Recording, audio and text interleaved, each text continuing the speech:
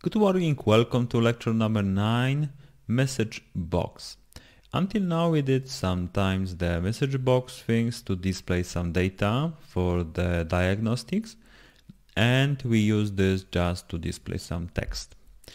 The message box function has more functionality but in WinCC and the SCADA environment you shouldn't use this message box inside the production mode. It's not saved.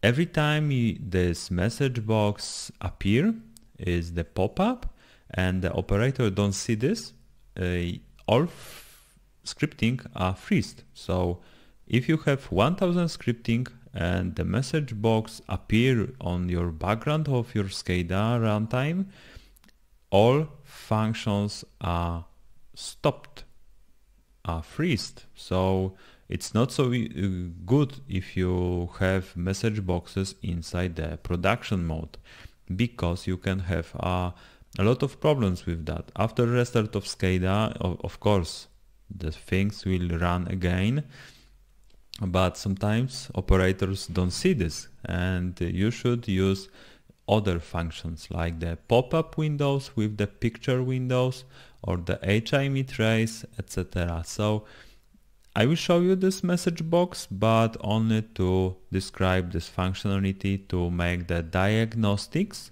better for you. So first of all, we use the message box on the button and this message box was something like that. A message box and a string string text is here. And after we run this script we will have some data on the pop-up window. Okay string text is here. This is the first. If you use for the diagnostic you can have uh, many many times this message box.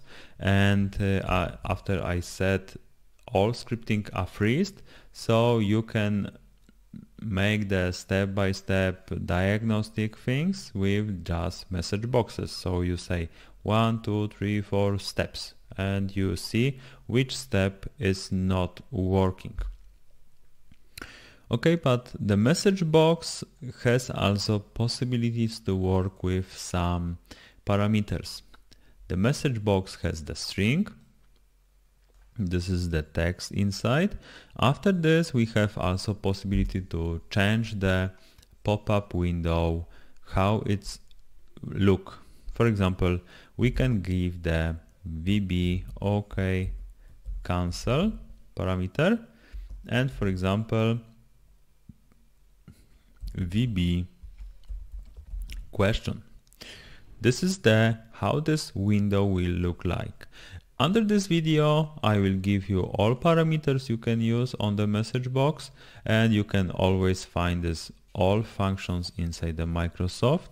But let's make some test. And the third option is the title of pop-up. I'm changing the mm, letters to make sure that you understand that I'm doing this for your message boxes. and uh, the VB OK cancel it's the choose for the operator that we can select OK or cancel. So we have to have the result. Our result should be uh, some kind of data tag and right now no error. Let's try to run the script. Now our pop-up window should look different. As you see, I have the title, title of pop-up change, I have the question mark and I have the string text is here. Now I have OK or cancel. I will put the cancel. And what about the choosing this? The result? We can have the HMI trace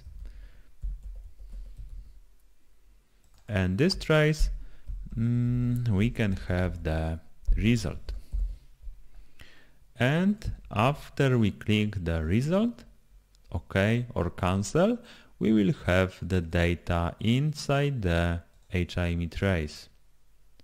Selected one, selected second.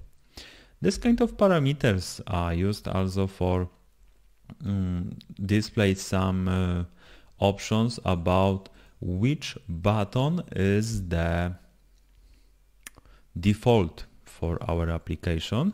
And we can say that plus VB default for example one mm, button.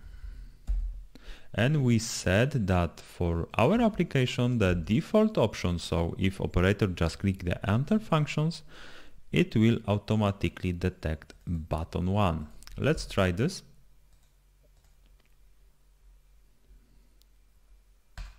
as you see this is the button 1 after we click enter we have one but let's make the button second so it will be the cancel option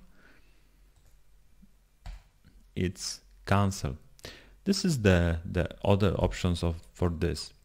And this kind of things ha can have more and more uh, options and the message box has a lot of options but as I said don't use this in the production mode and in the diagnostic mode the message box is enough for you to check your scripting is running or not, it's working how you want to.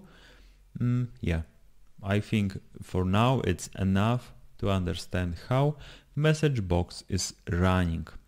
Okay, thanks for watching. Let's go to next lectures.